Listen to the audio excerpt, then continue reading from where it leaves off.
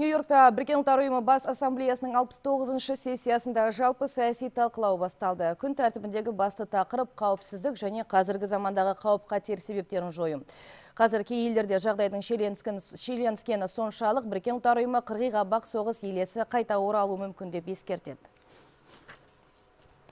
Соғыс, кедейлік, надандық, қазіргі заманның бұл ащы шындығы саяси пікірталас біріккен ұлттар ұйымының бас хатшысы пан ги мунның қорқыныш ұялататын хабарламасынан басталды биылғы жылды ол зобалаң деп атады. Ешқашан әлемде соншалықты көп босқындар болған жоқ. Бүгінде адам қолымен жасалған әрекеттің зардабы табиғи апаттан келетін күйзелістен асып түсіп отыр деді халықаралық ұйым басшысы. Ирак сирия газ аймағы батыс африкадағы эбола эпидемиясы климаттың өзгеруі сияқты мәселелер қосылды. Біріккен ұлттар ұйымы бас ассамблеясының мінберінен қырғи қабақ соғыс елесі туралы да айтылды. Ақш президенті барак обама қақтығыс аймақтарына шетелдік содырлардың ағылып келіп жатқандығына алаңдаушылық білдірді.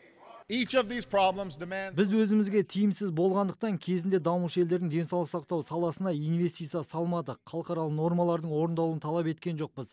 Біз төзімсіздікке діни алауыздыққа қатты қарсы тұра алмадық. Әскери килігу бейбітшілікке бастамайды. Қайта қақтығысты ушықтыра түседі. Біріккен ұлттар ұйымы бас ассамблеясының 69 сессиясында осы жайында айтылды. Саяси келіссөз келіспеушілікті бейбіт жолмен шешуге ұмтылу бұл қазақстанның сыртқы саясатының негізгі ұстанымы.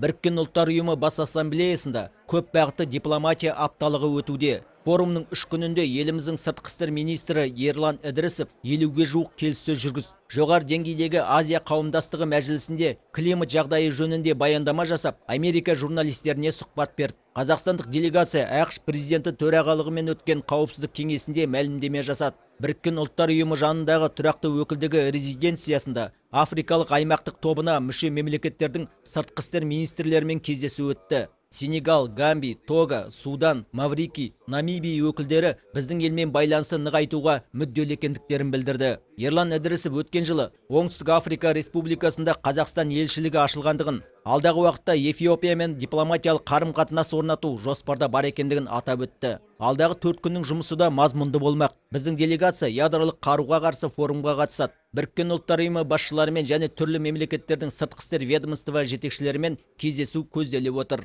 Мағауия қалиев майра кабиева майк джойл нью йорк ақш